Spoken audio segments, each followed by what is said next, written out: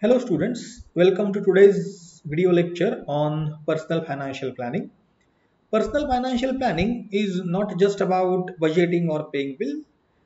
It covers a comprehensive approach to arranging your finances to live comfortably, to achieve your goals and ultimately secure your financial future. This lecture will equip you with the knowledge and tools necessary to make informed financial decisions.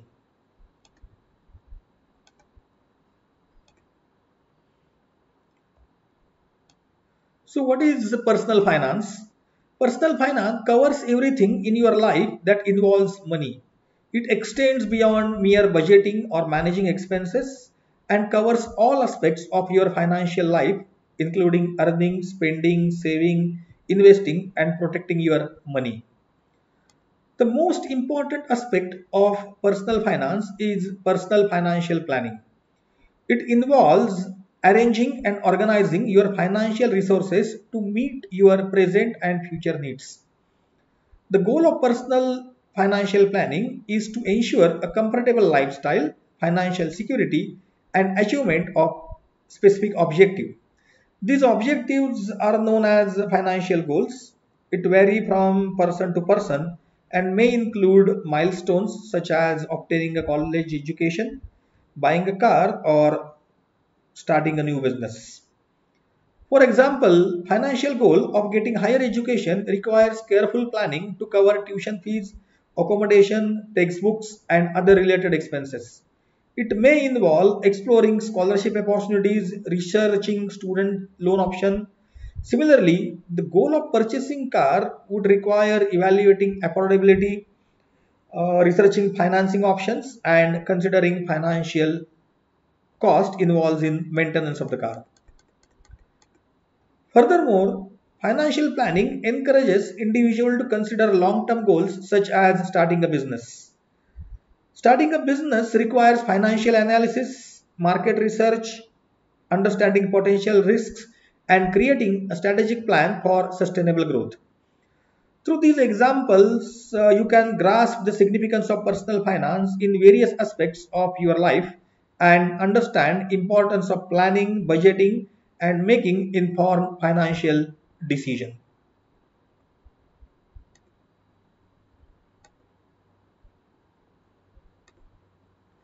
What is the benefit of knowledge of personal finance planning? Having a knowledge of personal finance comes with many, many benefits. First, it enhances your effectiveness in obtaining, utilizing and safeguarding your financial resources throughout your life. By understanding the principle of personal finance, you can make informed decisions about earning, saving and investing. Additionally, this knowledge will empower you to maintain control your finances, help you in avoiding excessive debt means loan, bankruptcy and dependence on others for financial support.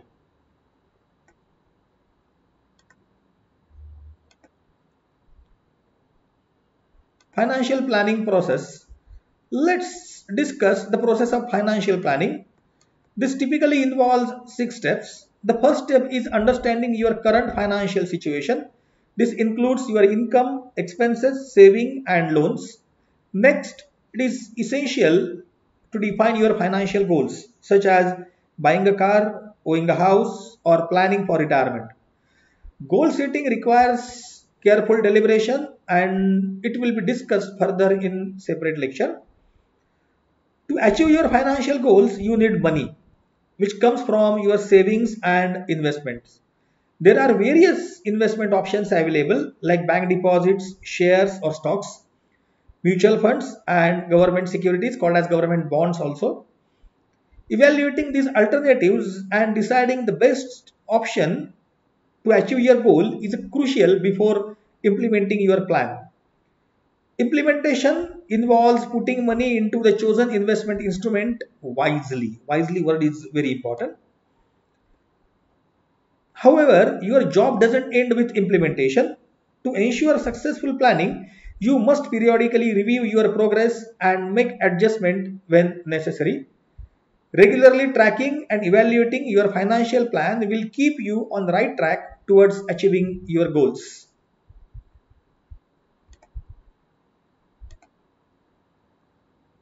What is your current financial situation? Understanding your financial condition is the first step in financial planning. The state of your money as a whole is shown by your financial status. How much you make means how much you get, how much you spend, how much you save, and how much you owe to other people. You can begin financial planning once you have this real cluster image in your hand.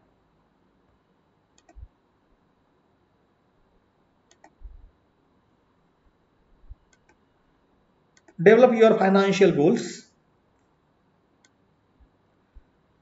When setting financial goals, it is important to ask your, yourself some important question that can help you to make better decisions. First, think about whether it's better to spend your money now or save for your future.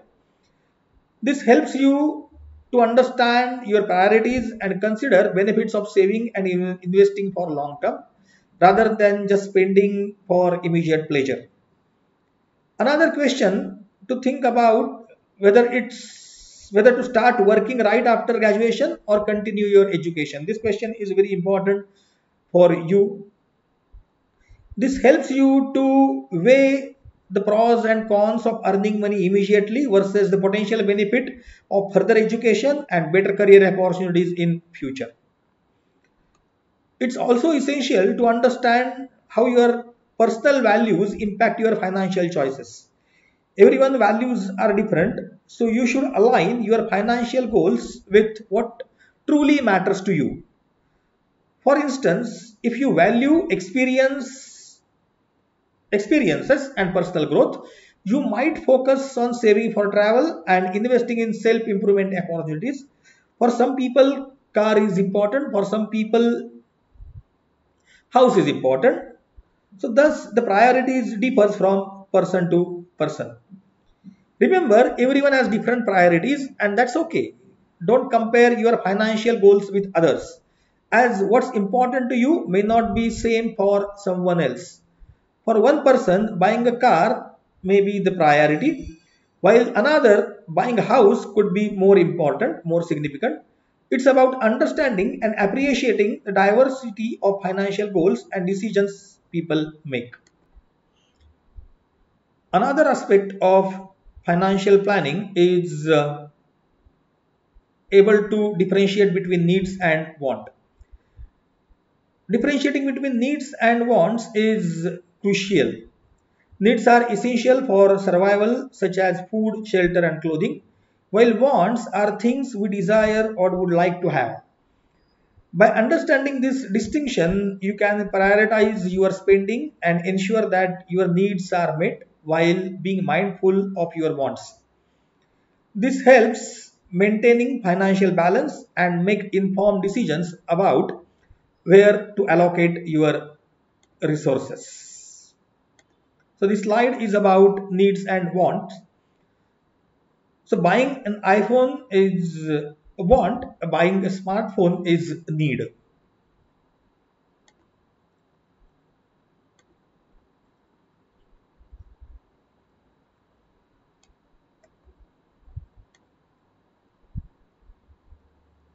The next is opportunity cost.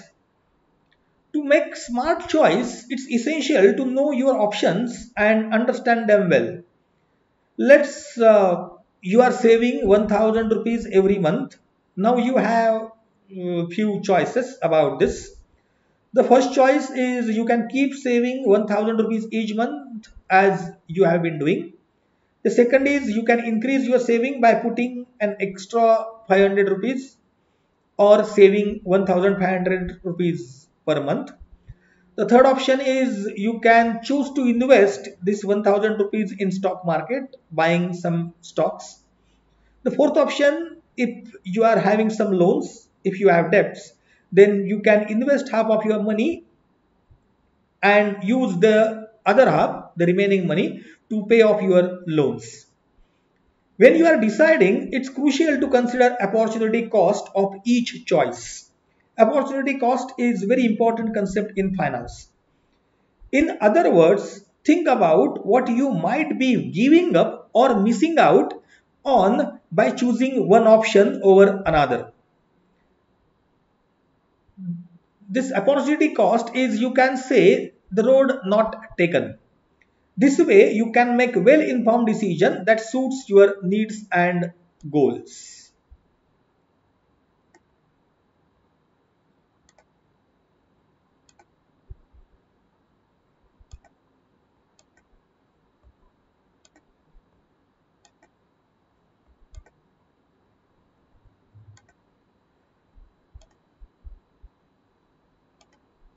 Opportunity cost is what you give up when you choose one particular option. So opportunity cost is very crucial in making financial decision. Understanding opportunity cost is uh, essential not only in personal finance point of view but also business decisions points of point of view. Opportunity cost is uh, the concept uh, or in simple term, it is the cost of not choosing the next best option.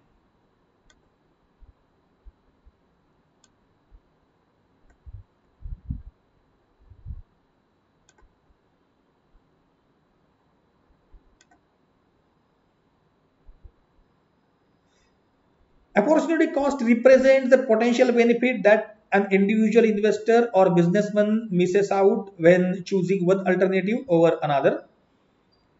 In another words, uh, opportunity cost is the foregone benefit that would have been derived from option not chosen. Considering the value of opportunity cost can guide individuals and organizations to make more profitable decisions.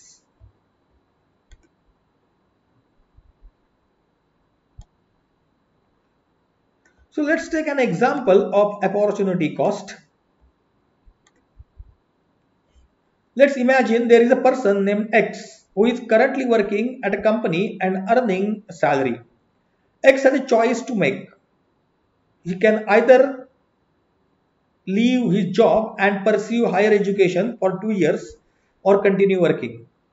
If X decides not to go for higher education, the opportunity cost in the potential benefit of having that degree along with any additional salary that he might earn because of the higher degree. In other words, X miss out on the advantage of higher income that could come with having advanced degree. On the other hand, if X chooses to keep his job instead of pursuing the higher degree, the opportunity cost would be the two years worth of salary and that he would have earned if he had continued working. So the decision X has to make involves considering this opportunity cost.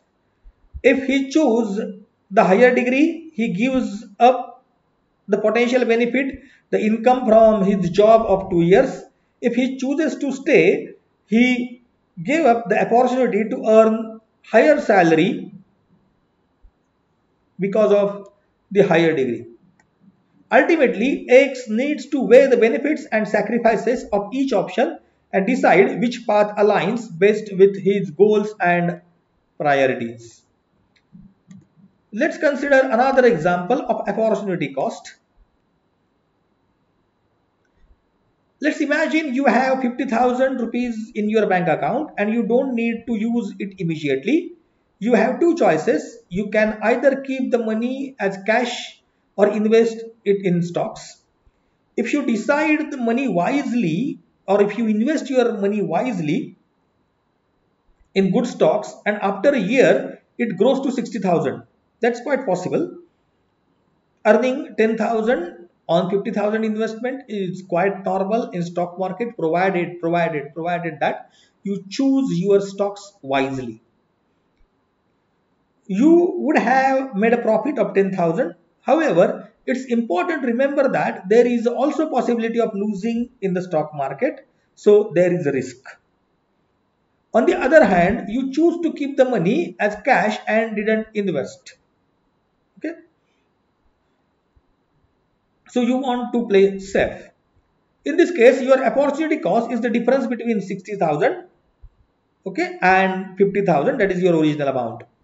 In this case, the opportunity cost would be rupees 10,000, the difference between the amount that you would have earned after investing in stocks and the original amount.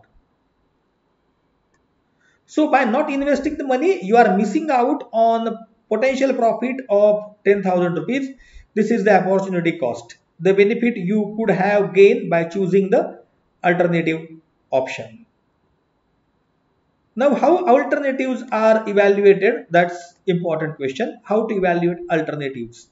So, if you have an option to keep it in the bank with 7% interest and to invest in stock market with let's say 15% or 20% returns and invest in mutual fund with returns of 10% to 12%.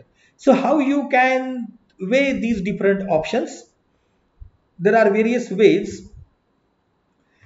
You have to calculate opportunity cost. Opportunity cost must be taken into account before comparing the alternatives. To determine which option is best for you, you must consider the opportunity cost of each. You can, to get the opportunity cost, you can find the information of different investment vehicles in online newspaper. You can also buy uh, personal finance based periodicals like Dalal Street, Money Today, Money Life. Many periodicals are available in regional languages also. To make informed decision from the possibilities available before investing, you can use websites also there are uh, like value research online then Groww there are many websites available on the internet to assess the different options. All these possibilities will be thoroughly discussed in this course to enable you to make informed decision. So as of now it may seem difficult for you to uh, weigh the different options but as we progress with the course we will be discussing how to evaluate each and every option of investment to make financial decision.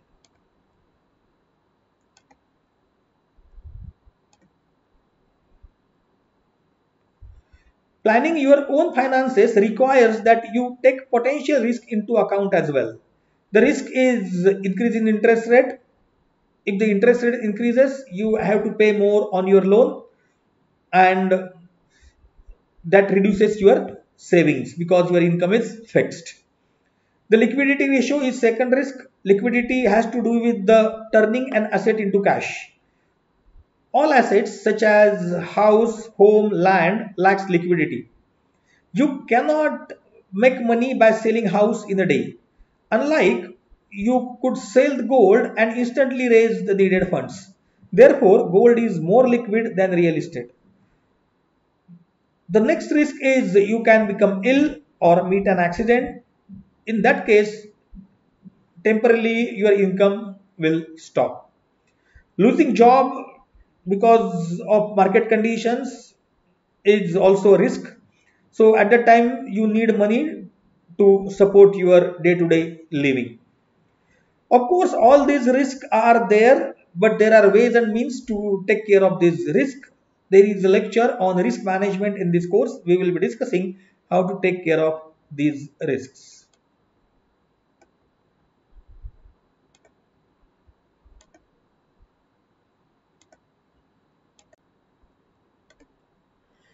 You can develop your financial strategy to accomplish your objectives means goals after evaluating various investments and instruments and associated risks.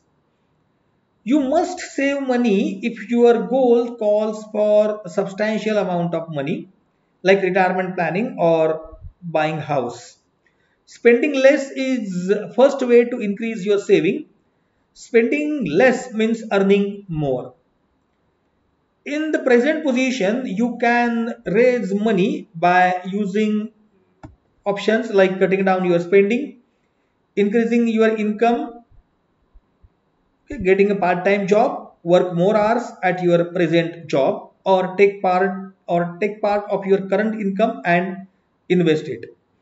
So Cutting down spending is always not possible because you have certain expenses to do like groceries, traveling, uh, phone, the electricity bills, etc. etc. Increasing your income may not be possible unless and until you change the job, your income will not increase. Getting a part-time job or working more hours at your present job is not possible for white-collar jobs. So uh, you have to work for late hours if you are working in MNCs. So part-time job and working more hours is of no question or it automatically comes but you won't get paid for that. So the option left with you is uh, invest your money instead of saving it.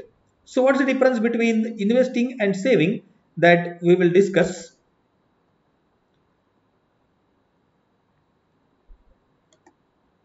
Now creating a plan doesn't end the story. You have to review your plan periodically because your demands of money change as you grow older. Your risk tolerance also will alter when your source of income decreases in old age, you should be cautious about taking risk of investing money in stocks market or mutual fund when there is or equity mutual fund to be precise when there is a chance of losing your capital. So your financial strategy will also need to evolve with your age. Every year you should review and adjust your financial plan.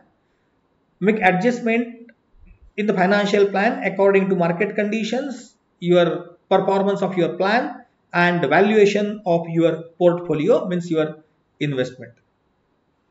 Now let's discuss about savings and investments.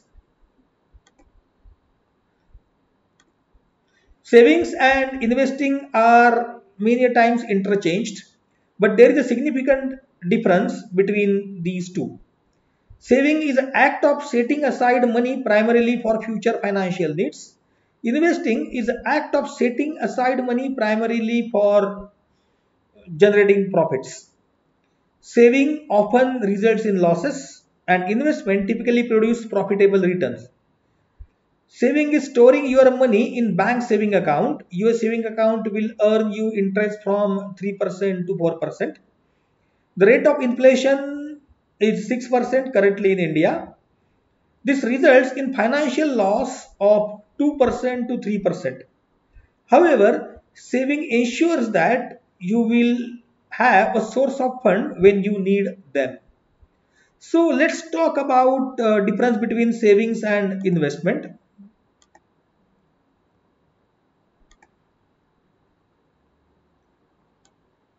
Saving can be used for day-to-day -day expenses future purchases like television or smartphones, household gadgets. It can be used as emergency fund also. Part of the saving you can use for investing. Now objectives of savings are quite different from objective of investment are quite different from savings.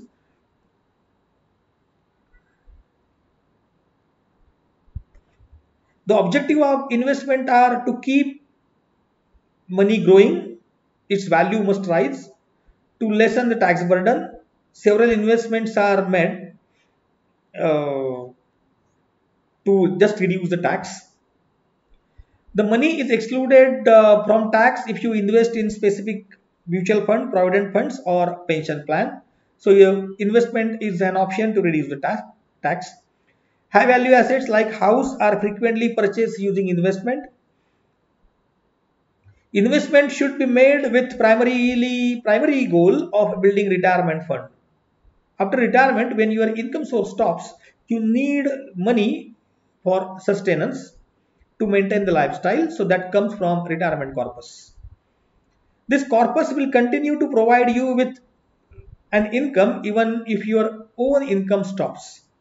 Other motivation or purposes for investment include funding child's education or achieving particular financial ambition such as purchasing a luxurious vehicle. See the differences between savings and investment, similarities and differences.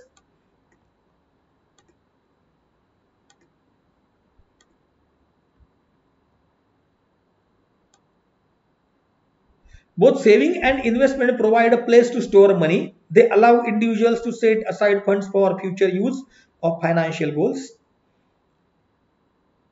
Both saving and investment represent positive financial growth. They have potential to generate returns on amount of money you put in. Both savings and investment offer return on investment invested amount. You can earn interest, dividend or capital gains over time. The differences between saving and investments are rate of return first. Saving typically have a meager rate of return, often not enough to beat inflation. This means that growth of saving may not keep up with the rising cost of goods and services. In contrast, investment have a potential for higher returns, but they also come with risk. The degree of risk depends on the investment instrument. Next is liquidity. Saving generally have high liquidity, meaning that you can easily access and withdraw your money when needed.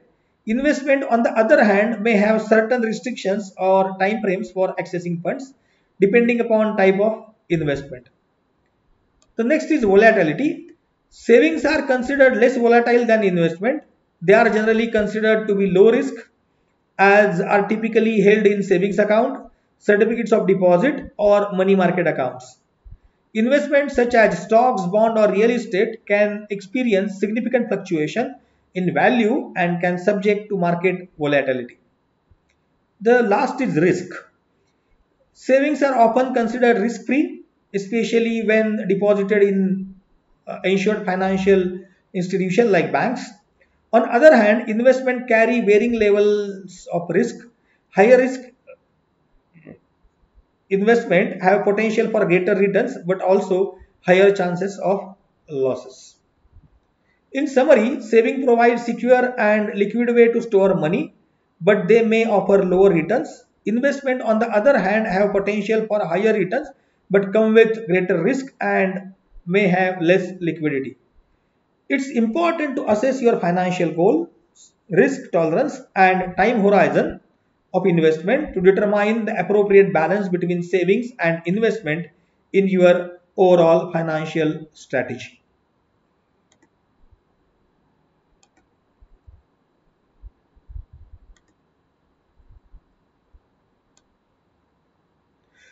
The success formula for achieving financial goal is first save and then spend. This is important because it helps people to secure their financial future. Here, how you can follow the principle of first save and then spend. Save at least 40 to 40%, 40 to 50% of your income. Set aside a significant portion of your income, ideally 40 to 50% for saving. This money can be used for emergencies, buying a house, planning for retirement, or building financial security. you can save 30% of the money that you receive. After saving a good amount, allocate 30% of your income for your everyday expenses. This covers your bills, groceries, transportation, entertainment and other important spendings. And dedicate re remaining 20% your income to investments. Investing allows you allows your money to grow over time potentially giving you more income and returns. You can invest in stocks, bonds, mutual fund, real estate or other options that match your financial goal and risk tolerance. By following this approach, you give priority to saving which becomes a regular habit for you. A significant part of your income goes towards building wealth. At the same time, you have enough for your reasonable spending and investment this way you can achieve long-term financial stability, security and reach your important financial goals. So remember, First save, then spend. So this is all about this lecture. Thank you for your attention. If you have any queries, you can drop an email on the following email address. Thank you. See you in the next lecture. Thank you.